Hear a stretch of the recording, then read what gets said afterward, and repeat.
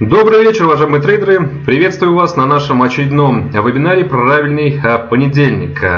Соответственно, сегодня мы возвращаемся на финансовые рынки с глубинным анализом тех основных макроэкономических событий, которые имели место быть в рамках прошлой торговой пятидневки. Сейчас, учитывая особый такой резонирующий э, эффект от действий Европейского Центрального Банка, оценить фундамент очень важно, потому что знаю, что среди вас есть и долгосрочные трейдеры, которые ориентируются, опять же, на поиска а, таких же долгосрочных инвестиционных возможностей. А, прежде чем двинуться дальше, традиционная проверка связи, как меня слышно, нет ли проблем со звуком и с изображением. Вижу вот уже на плюсик, хотелось бы увидеть их побольше, чтобы понять, что Речь идет об отсутствии проблем технического характера у всех. Как меня слышно? Ну, три плюса уже достаточно. Также имейте в виду, что если проблемы возникнут по ходу самого а вебинара об этом а, нужно будет мне сразу же сообщить, хотя, наверное, я узнаю об этом а, так же быстро, как и вы. Но в любом случае имейте в виду, что обратная связь, она может быть полезной. И не забывайте о том, что вы можете навести курсором мыши на мое изображение, там будет бегунок громкости. Подстройте этот параметр непосредственно под себя. Э, полагаю, что все э, те, кто хотел посетить наш сегодняшний вебинар, уже в сборе. Те, кто не смог по каким-то причинам, э, уже посмотрят запись, которая будет доступна на нашем официальном канале на YouTube уже буквально с завтрашнего утра. Также за последние две недели так и не дождался от вас обратной связи, так называемого фидбэка по поводу того, является ли время в 16.30 наиболее комфортным и удобным. Понимаю то, что многие работающие люди, которые в этот момент в 16.30, э, если ориентироваться на московское время, находятся в офисных помещениях и не имеют возможности э, подключиться в прямом э, эфире. Но судя по тому, что таких обращений было немного, полагаю, что 16.30 это подходящее время. Не забывайте о том, что я абсолютно в этом плане гибкий. Я при необходимости могу проводить вебинары и позже, и раньше. В общем, если будет такой массовый запрос. Поэтому, если в этом есть потребность, можете писать об этом прямо сейчас, прямо в рубрику «Общий чат», либо «Вопросы». Прислушаемся и, соответственно, скорректируем общий график. Ну а теперь давайте переходить к финансовым рынкам. Сценарий для тех, кто регулярно посещает вебинар, остается неизменным. Вы знаете то, что у нас сначала оценка основных событий прошлой недели.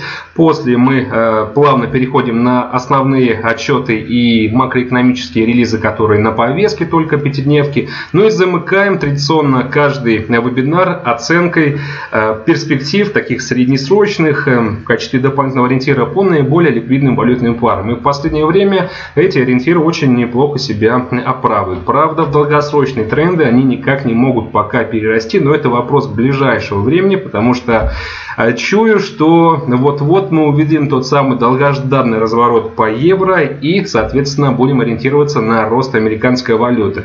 Думаю, что среди вас также есть такие же фанатичные приверженцы идея ослабления рисковых инструментов и роста американца. Поэтому я на вашей стороне, собственно, так же, как и на нашей стороне. Многие инвестиционные банки, в частности, я ориентируюсь на BNP Paribas, на Morgan Stanley и э, Bank of America. Вот там также такие эм, ожидания присутствуют и такие взгляды они разделяют.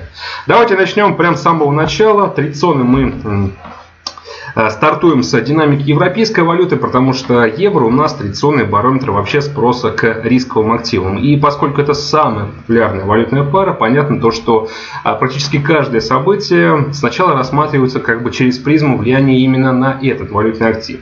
Евро на протяжении всей недели находилось под таким спекулятивным ожиданием долгожданного заседания Европейского Центрального Банка. Отсюда, в принципе, и волатильность со всеми вытекающими последствиями. Локальный хай, который пара евро-доллар достигла во вторник, составила 1.1057. Ну, правда, оттуда последовал потом значительный откат.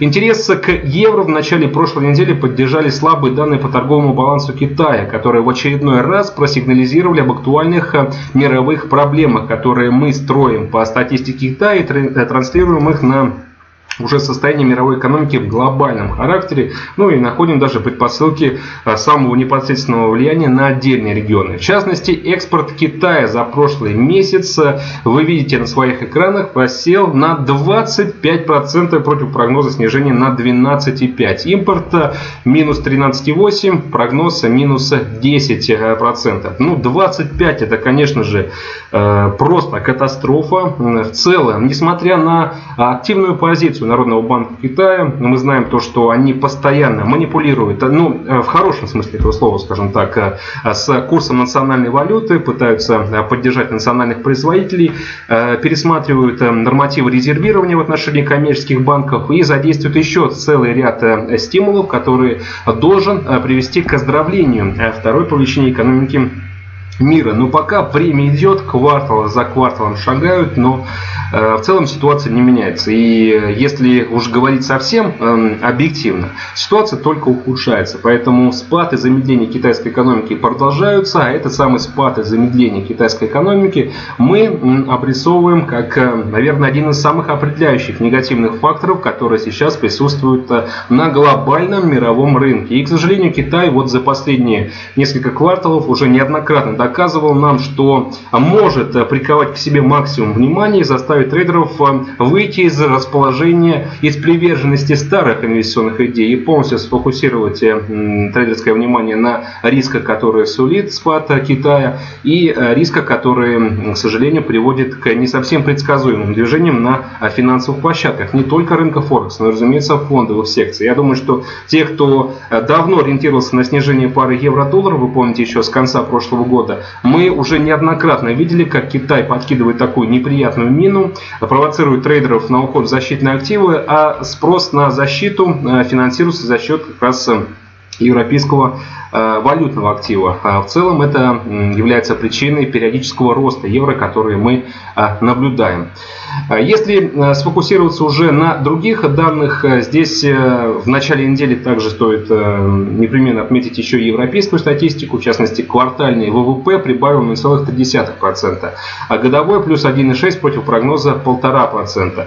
Не подвело, что странно и промышленное производство Германии плюс 2,2% в годовом эквиваленте против прошлого снижения на минус 1,3%. И в целом мы видели достаточно позитива и в рамках месячного прироста, потому что он составил 3,3% против прошлого снижения на минус 0,3%.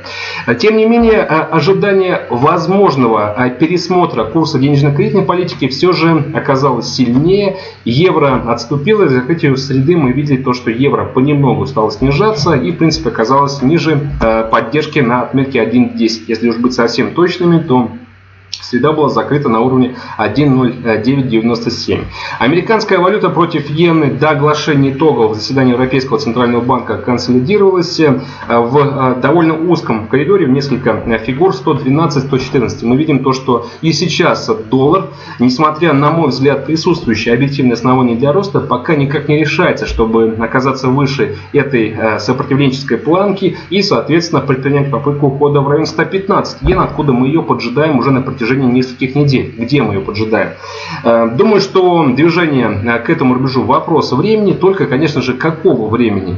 Наверное, нужны стимулы, безусловно. Без поддержки для дополнительной э, убедительности роста фундаментального для доллара сейчас не обойтись. Поэтому мы продолжим следить за макроэкономическим фоном, за национальной статистикой, тем более, что на этой неделе вы знаете то, что у нас есть парочку сначала макроэкономических отчетов, а в среду уже просто чудовищный с точки зрения потенциальных последствий для американца день. Это когда будет пересмотрена ставка ФРС и состоится пресс-конференция монетарного руководства США, где снова выступит Джанет Йеллен и прольет свет на дальнейшие изменения монетарной политики. Собственно, такое же серьезное событие, судьбоносное, я думаю, что не будет привлечением сказать именно так, а, а, как и прошедшее заседание Европейского Центрального банка, о котором мы, разумеется, сегодня поговорим а, чуть позже.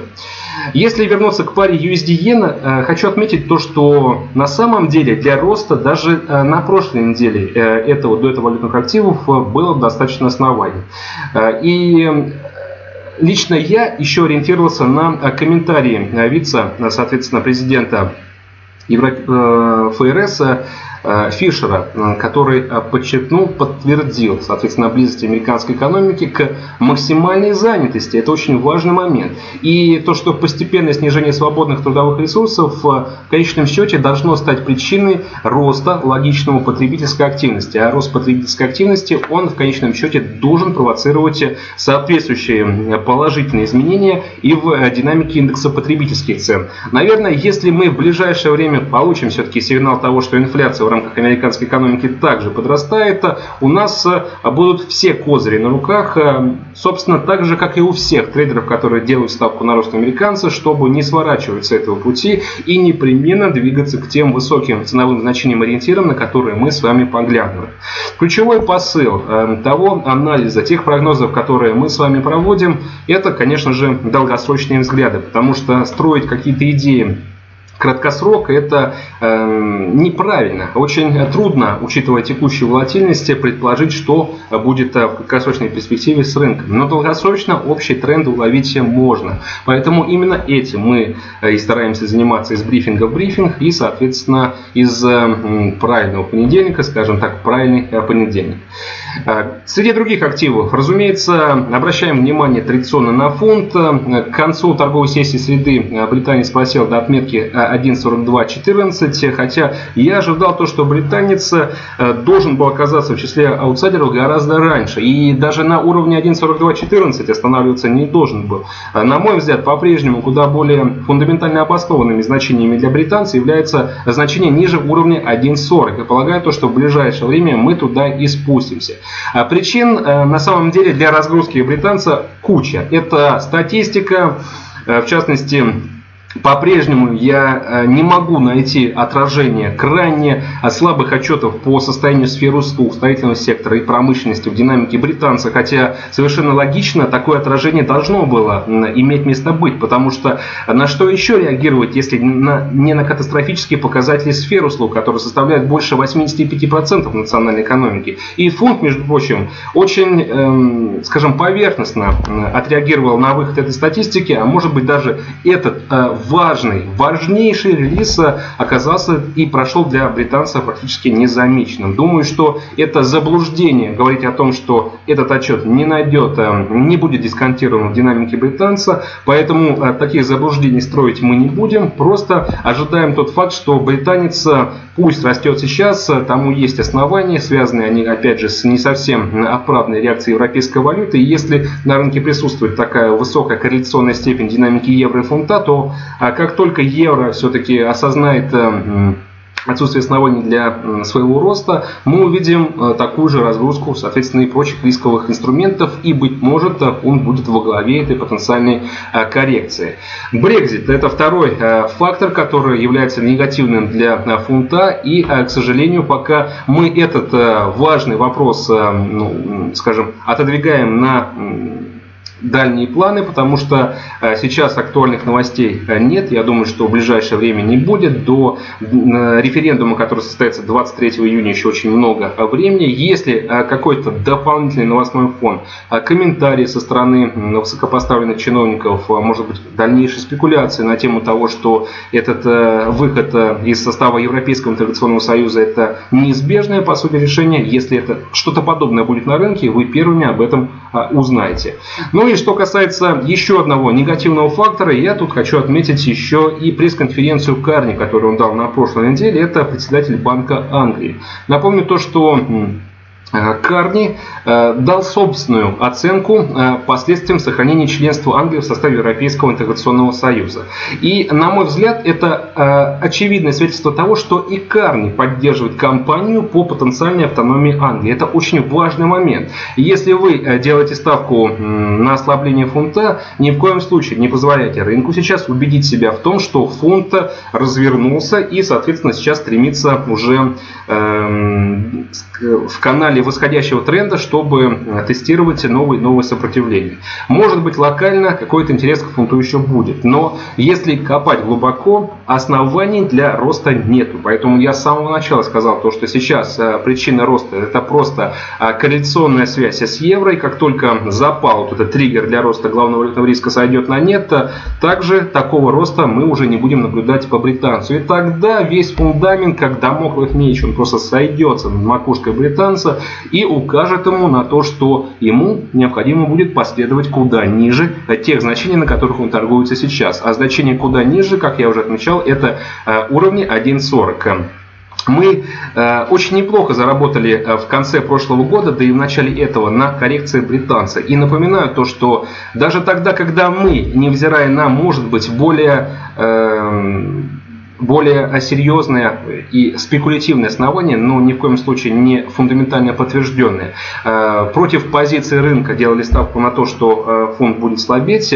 Я э, также рекомендовал вам не отказываться от идеи слабости британца, и в итоге мы видели, как фунт неплохо просел и умудрился даже ну, практически плотную подобраться к уровню 1.35. И на этом я предлагал не останавливаться. И это также была позиция против общего рыночного мнения. И сейчас я строю точно такой такое позиционирование. Мы с вами зрим корень, и сейчас а, предпосылки, опять же, дальнейшей динамики фунта указывают на то, что этот актив можно и дальше распродавать.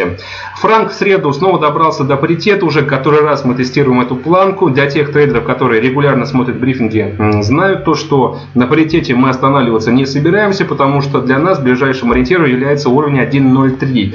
И если бы все пошло как по маслу в четверг, у нас были бы уже основания, чтобы вместе с евро зацепиться за более высокие значения и по паре USD с VISI. Но, э, к сожалению, мы предполагаем, рынок располагает, и пока такой возможности нам подарено не было. Но это не значит, то, что мы будем отказываться от идеи роста американца и слабости швейцарской валюты. Потому что если вы не хотите обращать внимание на локальную статистику, если вы не хотите строить э, определенные прогнозы по расхождению денежно-кредитной политики европейского региона и Швейцарии, и понимать причинно-следственную связь, э, вследствие которой национальная валюта Швейцария должна слабеть. Я хочу, чтобы вы тогда уж не игнорировали точно те комментарии, которые мы слышали со стороны Национального банка Швейцарии. Эти комментарии явно указывали в пользу того, что монетарное руководство Швейцарии само заинтересовано в том, чтобы ослаблять курс национальной валюты. Каким образом? Инструментов куча. Снижение процентной ставки, тем более, что это сейчас э, тот инструмент, который очень лихо применяется регуляторами,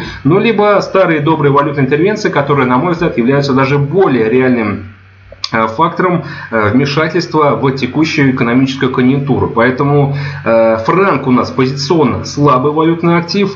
Я бы не стал сейчас говорить о том, насколько он переоценен в отношении доллара. Но хочу сказать то, что ключевое слово я уже произнес, переоценен. То есть ждем слабости, ослабления и роста пары USD свиси, особенно если в перспективе ближайших недель мы получим несколько убедительных доводов либо со стороны национальной статистики США, либо либо со стороны комментариев высокопоставленных американских чиновников о том, что ФРС по-прежнему не снял с повестки обсуждения шага, предполагающий еще одно повышение процентной э, ставки. Из других активов отмечу нефть, которая после достижения локального хая на отметке 41-47 довольно быстро вернулась на землю, в принципе даже в район 40 долларов за баррель. Если посмотрим на актуальные котировки сейчас, то значение еще ниже. Поспособствовали этому данные от Американского института нефти, это традиционный отчет, на который мы ориентируемся прежде всего, API, согласно которым запасы нефти выросли на 4,4 миллиона против прошлого роста на 9,9 миллиона. Э, уверен, то, что на откат повлияли и данные э, по Китаю. Если говорить уже про более объективный отчет, это статистика уже от Минэнерго США, то здесь, соответственно, тоже у нас э, очевидный э, фактор очевидное средство прироста запасов, что в целом должно было также выступить причиной и ослабление бренда. В частности, запасы э, выросли и по версии Минэнерго 3,8 миллиона против прогноза 4 э, миллиона. Хочу э, отметить тот факт, что сегодня на брифинге мы детально разбирали эту статистику и влияние, соответственно, на нефть. И здесь есть два полярных таких подхода к оценке того, а каким образом эти макроэкономические отчеты и этот новостной фон по нефти сказываются в стоимостной динамики Brent и WTI. Если запасы увеличиваются, соответственно, актив должен слабеть. Наоборот, если запасы снижаются, актив должен расти. Но а сейчас э, те, кто внимательно следит за динамикой нефти, понимают то, что на рынке присутствует э, новостной фактор и, э, по сути, рыночные ожидания, которые связаны с возможностью прохождения встречи 20 марта, ну, точнее, уже решено, эта встреча состоится, встреча ОПЕКа и представителей России, где будут обсуждать возможности э, выработки какой-то солидарной позиции по восстановлению цен на э, черное золото. Сейчас э, это событие является для нефти номер один, поэтому мы видим повышенный спрос на этот актив, поскольку сейчас практически 80% вероятности того, ну, Такую оценку я обозначаю, потому что слышал не а, одно мнение того, что же ожидать от э, предстоящего заседания. И большинство э, тех э, экспертов, с которыми общался я, надеются то, что это заседание станет судьбоносным прорывным. Поэтому присутствующая надежда на то, что договоренность будет найдена, стороны придут к консенсусу, компромиссу и общему знаменателю, является причиной такого спекулятивного подъема оптимизма в отношении бренда. Вот бренд уже растет больше недели, за прошлый прошлую пятидневку прибавил больше 6%, и поскольку до 20 марта у нас еще полноценная неделя, полагаю, что будет э, не лишним сделать ставку на то, что бренд продолжит консолидироваться даже выше 40 долларов за баррель. И, ну, выше этого рубежа, конечно же, заберемся вряд ли, потому что и без того мы видели то, что бренд Э, скакнул с уровня практически 33-34 э, доллара за баррель до отметки выше 40. Если переведем на процент, это больше 20% прироста. Это очень много, конечно же. Наверное, э, только на спекулятивных ожиданиях ехать так высоко не совсем правильно. Поэтому сейчас мы видим коррекцию, ослабление, поскольку трейдеры понимают то, что слишком высоко затрали актив к текущему времени. Но это ралли может легко продолжиться, если все-таки стороны и участники предстоящей встречи встречи, которая пройдет либо в Москве, либо в Вене, ну, скорее всего, в Москве, договорятся. Но другой сценарий указывает на то, что если стороны не договорятся, мы снова полетим вниз к тем уровням, с которых и начался этот подъем, а вслед за отметкой сопротивления 35, э, потом 30 будут возможны и более э, низкие ценовые ожидания, потому что перепроизводство сохранится, а мировая экономика, взгляните еще раз на статистику, которую мы анализировали по Китаю по состоянию торгового баланса, указывает на то, что будет э, слабеть и дальше. Значит, спрос и предложение по-прежнему будут искать друг друга, но вряд ли найдут с учетом такой расстановки сил. Поэтому по бренду стараемся каждый день э, оценивать перспективы этого актива. Если среди вас есть трейдеры, которые уделяют именно ему максимум внимания, тогда буду рад видеть вас на нашем ежедневном брифинге, где, собственно, касаемся перспектив этого э, товарно-сырьевого актива актива. А, далее идем. А, если перед тем, как э, сделать уже основной упор на динамику Европейского Центрального банка, точнее на решение Европейского Центрального банка по изменению денежно-кредитной политики, хочу эм, обратить ваше внимание еще на абсолютно неожидаемое событие, которое все-таки произошло на прошлой неделе. Это решение Резервного банка Новой Зеландии снизить процентную ставку с 2,5% до 2,25%. Э, честно говоря, я полагал то, что если это снижение последует, то не так быстро, как произошло. Но мы видим то, что Резервный банк Новой Зеландии все-таки высмотрел необходимость действия именно сейчас. Реакция новозеландцев в моменте была абсолютно оправдана, ослабление до уровня 0,6617, но потом уже Возможно, трейдеры снова сфокусировались на Европейском центральном банке, и тот, э, по сути, резонанс, то следствие и э, та волатильность, которую мы наблюдали уже по факту решения, и стала причиной уже не распродаж новозеландца, а последующего роста. Но это точно такой же э, не обоснованный, не оправданный, а только коррекционный рост, коррекционный рост, который мы наблюдаем в отношении евро. Поэтому, как только евро развернется, я думаю, что оно потащит с собой и соответственно, и Ауси, и э, в Киеве э, тоже. Э, отмечу также еще и комментарии председателя Резервного банка Новой Зеландии Уиллера о том, что Курс новозеландской валюты по-прежнему является перекупленным больше, чем на 5%. Интересно, конечно же, формулировка, потому что это, по сути, очевидный сигнал для всех трейдеров, которые спекулируют этим активом, на то, чтобы долгосрочно его распродавать. Я считаю, что это будет правильная позиция. И мы в целом по-прежнему сохраняем свой исключительно медвежий взгляд как в отношении австралийца, так и новозеландца. Но нужны дополнительные сигналы. Нужно э, пробитие э, сопротивления, которое по австралийцу значится на уровне 0,70, по новозеландцу против доллара на отметке 0,65. И до тех пор, пока мы не доберемся до этих значений, я повторяю это из брифинга в брифинг, пока торговать этими валютными парами Э, крайне рискованно и нецелесообразно. В общем, держитесь подальше сейчас. Но э, волатильность последних дней показывает нам то, что э, рисковые активы против американца могут демонстрировать очень чрезмерную волатильность и, соответственно, проходить более чем по фигуре за одну торговую сессию. Поэтому при определенном благоприятном для нас течении обстоятельств мы сможем добраться до указанных рубежей от в ближайшее время. Ну и, наконец, плавно мы перешли к Европейскому Центральному банку. Здесь решений очень много. И если, опять же, зайти издалека, чтобы сделать ставку на то, почему мы э, ожидали э, решительности со стороны европейского регулятора, то вы все прекрасно понимаете, то, что ключевой посыл это крайне низкие значения по инфляции. И исходя из низких значений по инфляции, ЕЦБ уже обещал нам то, что не будет тянуть резину и последует делом заства. Мы ждали это еще в конце 2015 года, но, к сожалению, э, подобной решительности Э, затянулось, и в итоге мы дождались это только в прошлый четверг. Решений было очень много. Сегодня, э, кстати, на брифинге также э, детально рассматривали эту ситуацию. В целом определяли даже несколько сценариев, вы помните. Эм, Лично мы предполагали то, что ставка будет снижена по депозитам на 0,1%. Это был также оптимистичный сценарий. Сверхоптимистичный, как я уже отмечал, это возможность еще увидеть и коррекцию программы количественного смягчения. ЕЦБ пошло еще дальше, потому что порезал ставки как по рефинансированию, так и по депозитам и расширил программу количественного смягчения до а, очень уж совсем высоких уровне это 80 миллиардов евро в месяц. То есть это более агрессивный выкуп активов, который будет актуальным уже с а, предстоящего апреля месяца. А, подобные экономические стимулы, они полностью укладываются в мандат Европейского Центрального Банка и, честно говоря, а, долгосрочно они являются просто кричащими факторами в пользу того, что евро останется среди аутсайдеров, потому что мы говорим уже об баснословном росте и расширении баланса Европейского Центрального Банка. 80 миллиардов евро в месяц – это очень много. И Э, как только Драги стал резать процентные ставки, реакция, в принципе, европейской валюты была абсолютно оправдана, потому что мы увидели снижение в районе 1,08, там 20 с небольшим.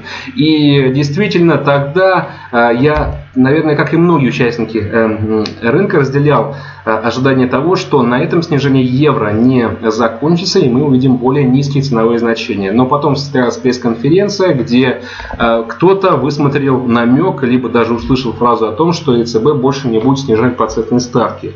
Еще раз повторюсь, на брифинге говорили об этом.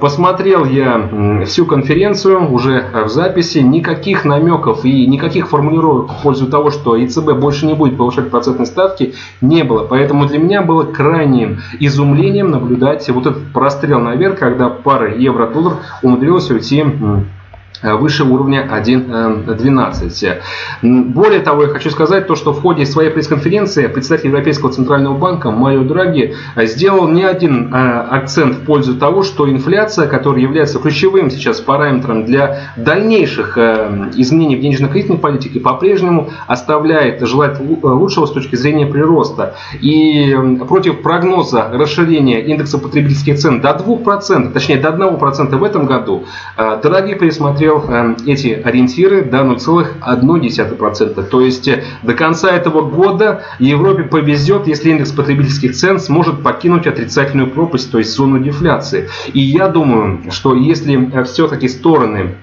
ОПЕК и России не найдут общего знаменателя, не договорятся по снижению объема производства, мы увидим сползание цен на нефть снова к тем ориентирам, о которых я говорил. Это тотальная распродажа всего энергосырья. А снижение цен на нефть станет причиной э, падения и индекса потребительских цен. То есть я бы даже сказал, то, что при реализации подобного сценария мы увидим еще неоднократную решительность со стороны Европейского центрального банка, потому что э, без более агрессивной наверное, поддержки, даже несмотря на ту поддержку, которая была анонсирована в прошлый четверг, э, валютный блок не обойдется. Особенно если действительно цены на нефть снова пойдут э, вниз. Волатильность вы прекрасно видели по э, паре евро-доллара была просто феноменальной. 400 пунктов диапазон хода, колоссальное снижение вниз и такой же выстрел наверх. Но до сих пор для меня большая загадка, почему же это произошло. И действительно ли только простые слова, которые ничего не значат на пресс-конференции, это не интервенция тенденции, несерьезные основополагающие заявления стали причиной абсолютно неоправданного роста э, европейской валюты. Поэтому сейчас я делаю особый акцент на то, что чем выше сейчас торгуется пара евро-доллар, тем э, более э, привлекательным, более существенным профит может быть, если вы сделаете ставку на коррекцию на долгосрочную перспективу. И для тех, кто до этого занимал такую выжидательную позицию, считайте то, что Драги собственными усилиями подарил вам колоссальную возможность, чтобы еще раз детально, фундаментально оценить перспективы европейской валюты, взглянуть на фундаментальную картину в рамках валютного блока, оценить все за и против, взвесить риски и потенциальные прибыли, принять решение о том, что евро остается аутсайдером. И к этому движению аутсайдера, которое непременно пойдет в самое ближайшее время, я советую вам, соответственно, и присоединиться. Американская валюта продолжила консолидироваться в коридоре 112-114. Даже такое событие, как ЕЦБ, не выбило американцев из колеи, хотя могла бы, конечно же, особенно наши спекулятивные ожидания, нашу визуализацию того, что доллар должен стоить э, гораздо больше, особенно против э, своего защитного оппонента японской валюты. Поддержка была, это национальная статистика по заявкам на пособие по безработице. Вы знаете то, что на этот отчет мы обращаем внимание, но особенно приятно мне делать акцент на этот релиз тогда, когда мы видим очевидное улучшение американского рынка труда. В прошлый четверг именно так оно и было, потому что 259 тысяч против прогноза против прошлой оценки 277 тысяч. Это прогресс, мягко говоря, э, указывающий на то, что а, вслед за а, показателем по безработице в 4,9% мы увидим еще более низкое значение, а значит, возможно, следующие non-farm payrolls укажут нам на более серьезный прирост по новым рабочим местам вне сельскохозяйственного сектора и будем надеяться, что станут причиной и активизации индекса потребительских цен а с точки зрения роста. Но сначала, конечно же, нужно увидеть еще и рост заработных плат. Опросы Reuters отметили то, что большинство большинство э, экспертов на текущий момент ожидает то, что во втором полугодии ставку ФРС поднимет до 0,75%. Но сначала нам нужно пережить э, торговую сессию среды, потому что в среду, э, разумеется, ФРС поставит на пересмотр ставку, но сохранит ли он ее на прежнем уровне, либо все-таки повысит вероятность этого 10%, хотя нет, если говорить совсем уж объективно, вероятность того, что ФРС поднимет ставку в ходе предстоящего заседания, меньше 5%. Но рынок такая непредсказуемая система. Вот по Новой Зеландии мы не ждали снижения процентной ставки. И вопреки ожиданиям, Резервный банк Новой Зеландии, когда этого никто не ждал, взял и снизил процентную ставку. Может быть, нечто подобное с точки зрения сюрприза мы сможем увидеть и в эту среду. Поэтому максимум внимания. Ни в коем случае не упустите возможности, которые сейчас появляются на на рынке, опять же, в преддверии ФРС. И эти возможности я рекомендую реализовать с точки зрения роста американца. А также хочу отметить еще канадца, потому что канадская валюта сначала большую часть недели ориентировалась на динамику нефти, а потом переключилась еще на национальную статистику в частности на данные по рынку труда. Э, уровень безработицы 7,3% это максимум за 3 года. Еще один фундаментальный негатив, который должен сказаться в динамике канадца. Поэтому если э, все пойдет, как э, мы прогнозируем с точки зрения долгосрочных ориентиров, то есть э, снижение нефти и рост доллара, USD CAD у нас снова развернется и пойдет к нашему заветному ориентиру, который сейчас значится по этой паре на отметке 1.40. Евро резонировало от событий ЕЦБ, в принципе, сегодня продолжается это движение.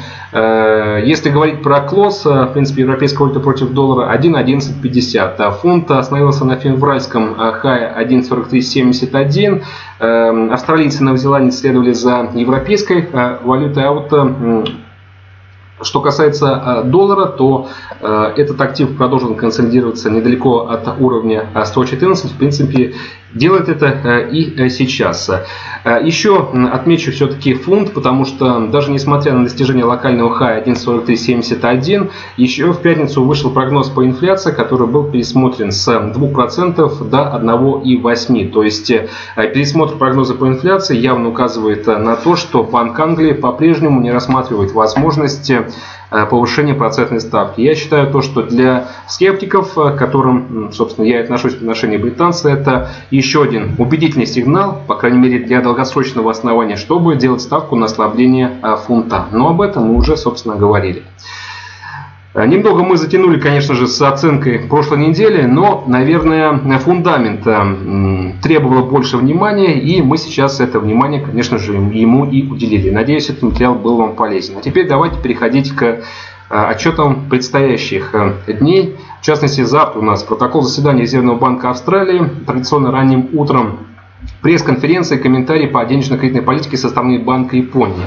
На этой неделе помимо ФРС мы будем следить еще за японским регулятором, потому что по-прежнему не исключаю возможности того, что, да не я не исключаю, а само японское монетарное руководство не исключает возможности решения программы количественного смягчения. И вы понимаете, что если рынку будет подан дополнительный сигнал в пользу того, что это случится в ближайшее время, значит для нас это ковровая дорожка, зеленый свет, как хотите, но э, это то, что будет э, повышать интерес к идее, связанной с трейдингом по паре, по паре USD-иена на контрастности монетарных политик.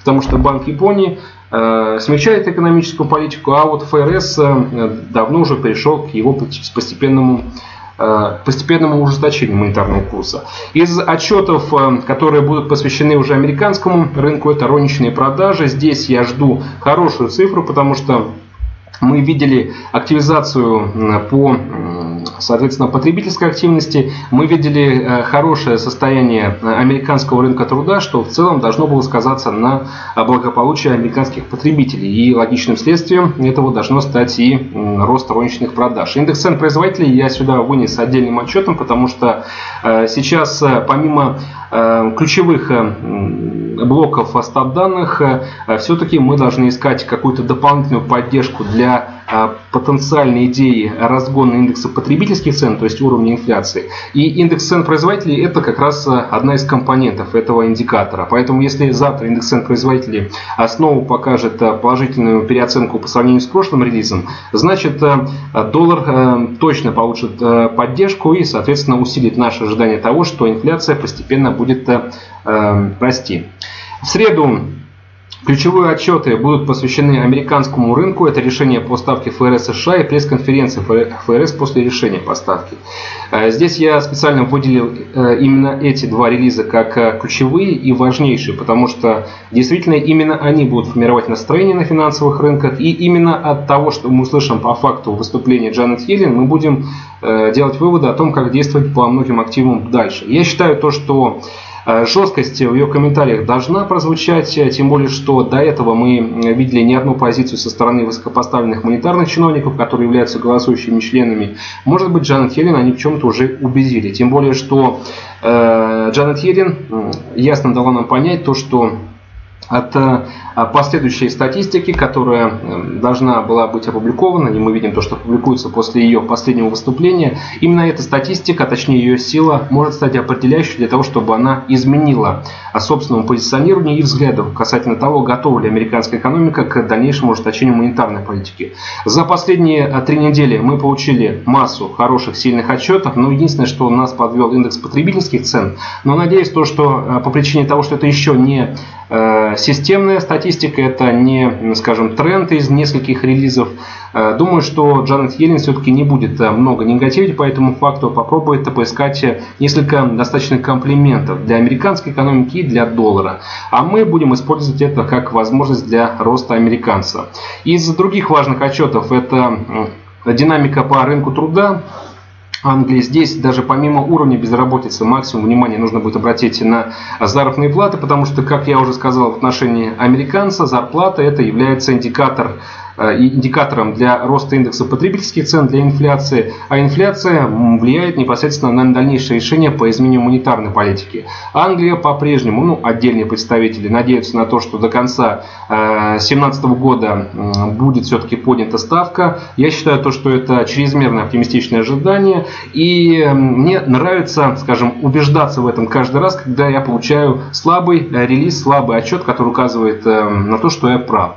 Поэтому в случае снижения заработных плат мы вместе с вами, соответственно, с прочими участниками рынка, которые верят в ослабление фунта, получат еще один неплохой сигнал в пользу того, что оснований для роста британца на рынке нет. Ну, еще два отчета по состоянию запасов нефти. Здесь все без изменений. Э, даже несмотря на локальные увеличение запасов, мы прекрасно понимаем то, что сейчас э, рынок э, особо негативить не собирается по нефти, потому что э, основным событием является заседание 20 марта, и до этого заседания я считаю то, что прочий фундамент, статистика, она будет второплановой. Сейчас трейдеры предпримут еще попытку закрепиться повыше рубежа 40 долларов за баррель, опять же, поскольку, поскольку до 20 марта есть еще 5 полноценных дней и есть еще запас времени, что чтобы поспекулировать на надеждах того, что договоренность будет. А поэтому трейдеры непременно воспользуются этим шансом. И даже несмотря на сегодняшнюю разгрузку, которую мы наблюдаем по бренду, смогут э, загнать э, этот инструмент еще выше. А в четверг особенно выделил выступление главы Банка Японии Курады, потому что вот как раз в этом выступлении мы и будем искать сигналы на то, а будет ли измениться, эм, изменяться программа количественного смягчения. Я считаю то, что сигналы получим. Но э, Курада в последнее время довольно-таки скажем, э, негативен в оценке э, перспектив для национальной экономики и касается темы э, потенциального более агрессивного выкупа активов. Возможно, после последних событий в рамках Европейского центрального банка, возможного изменения какого-либо изменения в политике ФРС, об этом мы узнаем в среду, а точно такие же изменения могут произойти и э, в рамках японского регулятора. Но если они произойдут, они будут носить исключительно мягкий подтекст, а значит создавать куда больше оснований для эм, разгрузки японской валюты. То есть это еще одна поддержка для наших длинной идей по паре USD-иена.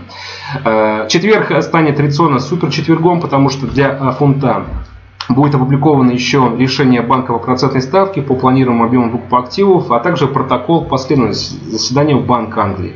И если мы, э, опять же, будем ссылаться на релизы последних э, недель, я хочу сказать то, что э, этот протокол может дать нам еще один сигнал в пользу того, что Банк Англии даже и не предпримет, опять же, попытку поднять ставку до конца 2017 года. Об этом мы с вами уже говорили, но еще один, конечно же, сигнал, еще одно подтверждение будет будет не лишним. Тем более, что а, фонд а, в последние несколько дней а, уж очень упорно игнорирует весь негатив, продолжает карабкаться вверх тогда, когда нет оснований. Может быть, в этот раз протоколы сломают его бычий настрой и укажут на те значения, которые являются для него более определяющими.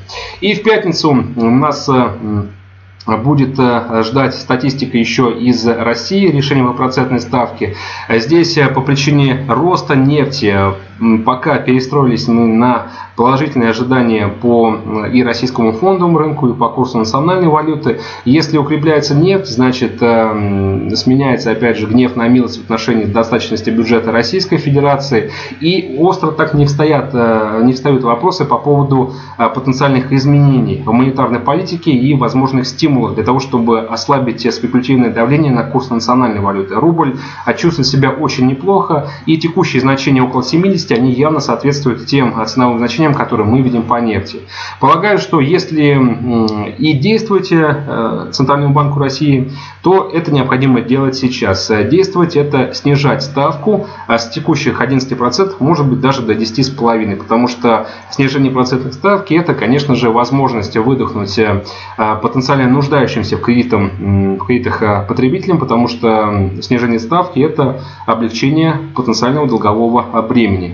Из других отчетов э, Здесь э, также вы видите индекс потребительского доверия Мичиганского университета, традиционный важный лист, но куда более важным может стать выступление представителя ФРС Дадли, который традиционно э, является нашим, скажем, дружеским представителем э, ФРС, потому что Дадли вот уже на протяжении, наверное, последнего последних двух или трех кварталов готовил нас сначала к тому, что ФРС пойдет на решение по разгону процентных ставок. В принципе, это состоялось, и сейчас Дадли поддерживает идею того, что американская экономика и дальше может э, сталкиваться и, в принципе, к этому готова, чтобы разгонять краткосрочные процентные ставки даже выше 0,75%.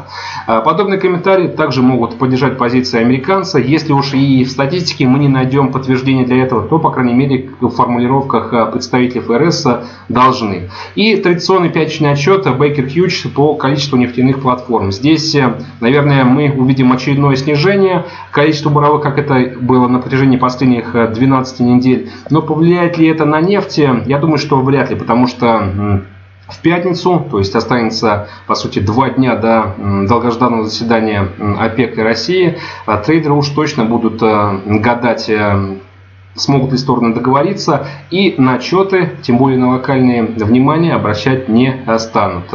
Но в пятницу будет момент X. Я считаю то, что советую вам все-таки посетить наш брифинг, который состоится утром в пятницу в 9.30 в прямом эфире на Перископе, если есть такая возможность. Мы еще раз подведем итоги э, текущей актуальной динамики, динамики нефти и посмотрим, что в принципе можно ожидать от этого актива в преддверии, опять же, заседания ОПЕК и России и а по факту уже будем говорить э, в понедельник.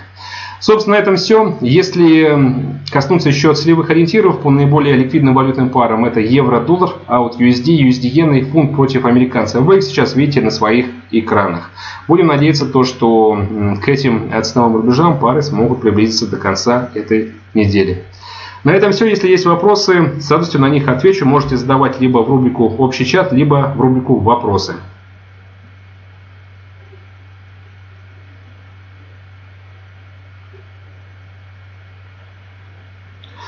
Что касается э, длинной сделки австралийца 0,7575, э, честно говоря, на текущий момент э, вы должны находиться уже а, а, sell.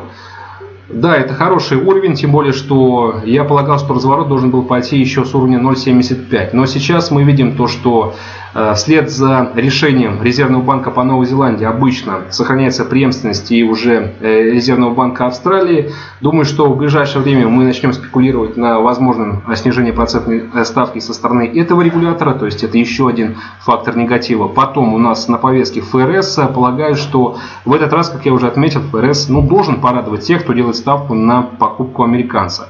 Если это случится, то австралиец действительно окажется аутсайдером, собственно, так же, как и другие рисковые инструменты. Поэтому, если еще запас прочности есть, и если вы так же, как и я, уверены в том, что австралиец будет снижаться, у вас хороший ценовой рубеж, можно и поддержать. Евро-иену здесь э, давайте все-таки э, переживем ФРС, посмотрим, что нам скажет американский регулятор по их национальной денежной кредитной политике. Потом взвесим уже политику ФРС, ЕЦБ, посмотрим, что будет с долларом, как доллар повлияет на японскую иену, а что будет уже по факту предстоящего выступления Курады, услышим что, что-нибудь прорывное интересное, и сопоставим уже вместе евро, иену и американцы. То есть с этим вопросом я предлагаю предлагаю вам повременить. В следующий понедельник у нас непременно будет возможность с вами снова встретиться. Сначала на брифинге, а потом в ходе вебинара. Вот там давайте подробно и поговорим.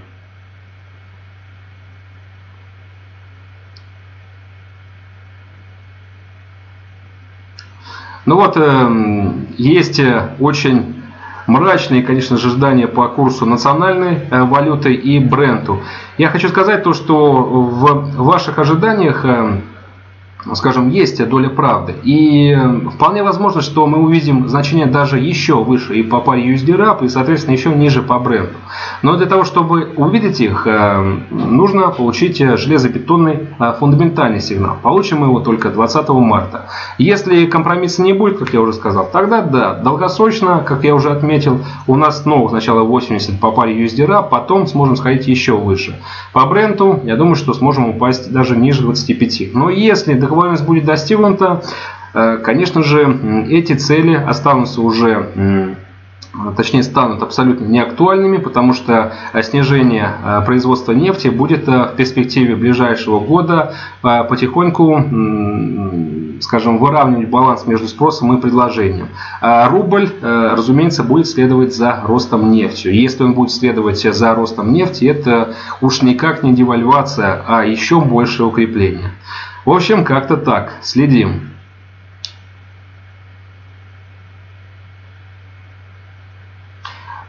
Евгений, по поводу золота полностью разделяю вашу позицию. Полагаю, то, что ту разворотную свечу, которую мы видели в пятницу, хотелось бы подкрепить еще большим снижением в эту среду. И если э, все будет именно так, э, пожалуйста, прошлая пятница станет макушкой того не совсем оправданного ралли бычьего, который мы видели в последнее время.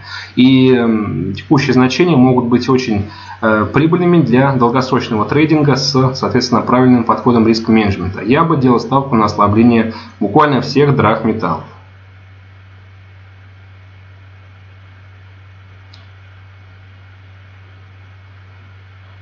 Может быть даже еще ниже. 1200 это для тех, кто не хочет рисковать. Сейчас я предлагал дождаться этого рубежа и только потом продавать. Для тех, кто хочет э, идти в банк прекрасное значение с текущих значений э, до 1200.